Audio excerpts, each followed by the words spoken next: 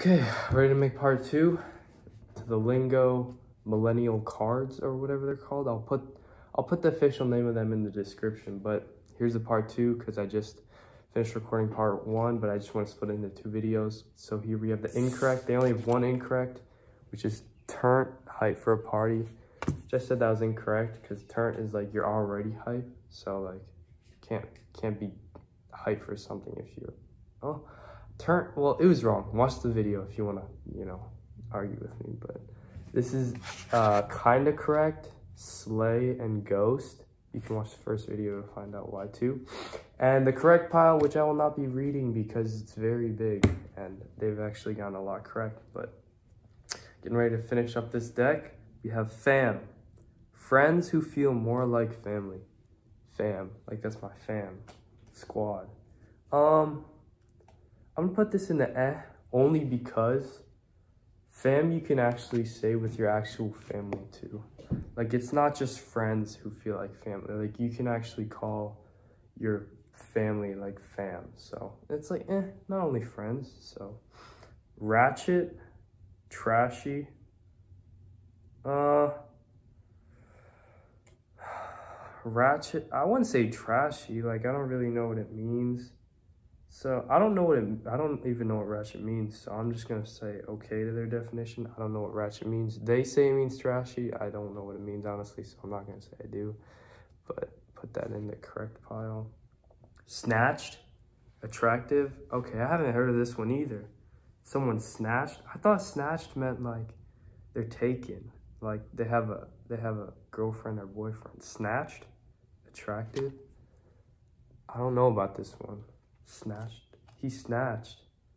No. I'm gonna say that's a no. No, that does not mean. False. False information lingo. GOAT, greatest of all time. Yeah. GOAT, greatest of all time. It's acronym. Squad, group of friends, people you chill with, hang with. That's my squad. Yeah. That's that's what squad is. You. Trill, true and real. I haven't. Yeah, I was gonna say I haven't heard of that, but I have. Like someone had it as a user one time, and it was like it's like Robert Ben Trill. So I guess true and real. Yeah, that's that sounds that sounds right. It's like a mix, true and real, trill. High key, straight up truth. Yeah, that's high key. Like when someone says that's high key, facts. Like yeah, that's that's truth, man. That is straight up truth. High key. And low key is kind of like keep it, like don't tell anyone. Keep it low key. Keep it chill. High key is like, yeah, he's telling the truth. Blessed, feeling fortunate. Yeah, say I'm blessed. Hashtag blessed, feeling fortunate. You're like, yeah, I'm thankful, feeling fortunate. Yeah.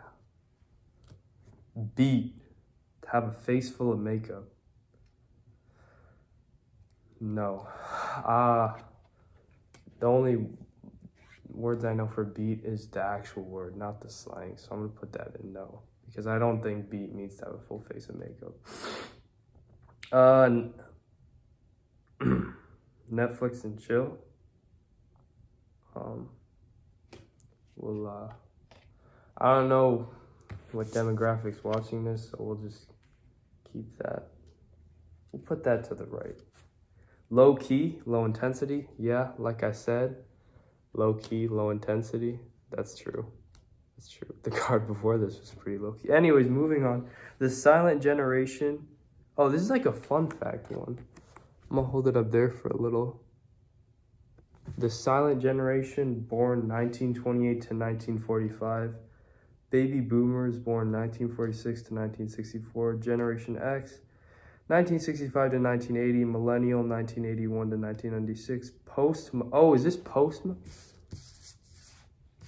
There was like, I think this is millennial slang, not post-millennial slang. So I think they might come out with a deck that's like post-millennial slang.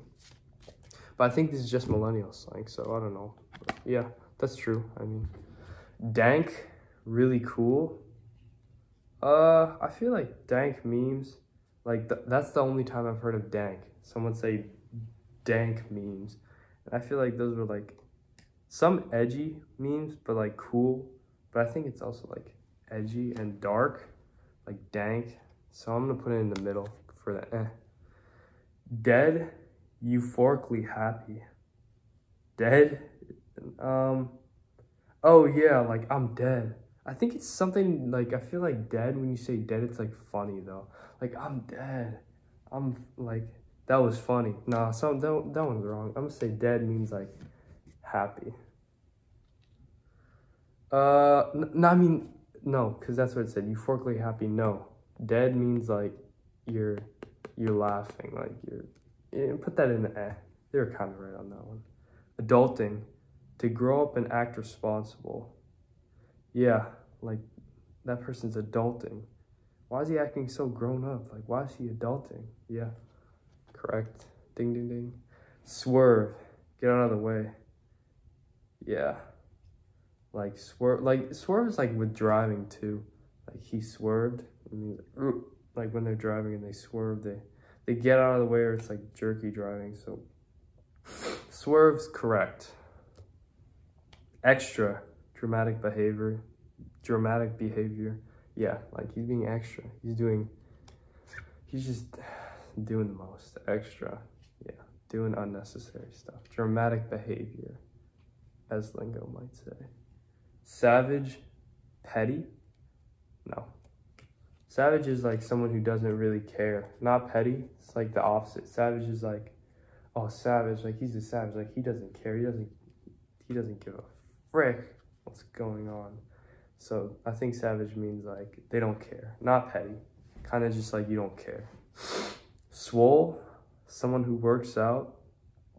Um, I wouldn't say swole as someone who works out because like I think swole is more like you're just really strong. You don't swole is to describe someone who's really strong, not someone who works out. Someone who works out, like you could be, you could work out and not be strong, but someone wouldn't call you swole. Not not say like everyone starts somewhere, but like you wouldn't say someone who's like not very strong is swole just because they work out. I don't think that would make any sense.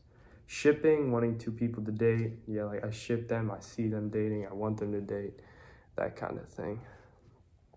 Suh. Shortened version of what's up. Yeah. Suh, dude. Like that thing was, that phrase was so popular when I was in like seventh grade. Suh. What's up?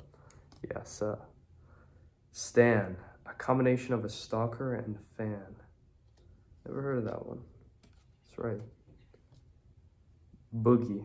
Someone from a higher class. Boogie. Someone from a higher class. Uh, I don't know. Honestly, I, have never even heard of this word before. So I'm learning too. Boogie, someone from shore. I didn't know that was a thing. Someone from a high, like upperclassman, like boogie. He's a boogie. Means an upper class person. Boogie. Okay. I L Y. I love you. Yeah. Correct. Bruh. Another way of saying seriously. Like bruh. Are you serious? Bruh. Yeah, that's actually, that's true. That one's 100% true. Someone does something that's like, that like zones you, like, you're like, bruh, like, why would you do that? Seriously? V, very. V, the letter V. Very. V. Yeah, that's right. Like VV, people, very, very. FOMO, fear of missing out. Yep. BRB, be right back. Yep. TBH, to be honest. And that's the end of the deck. Uh, overall, they got about one, two, three, four, five wrong. And one, two, three, four, five. So, and five like on the border. So they got, they got a lot more correct than they did right or wrong. So would I recommend it? I mean, as a gift, like you could give this as a gift to someone. It'd be funny. Read them off, talk about them. Yeah, I'd say they're worth it. They're called, the brand here is, is Lingo. And like I said, I'll put the official name in the description. But if you did enjoy watching, subscribe, and um, hope you enjoyed the video.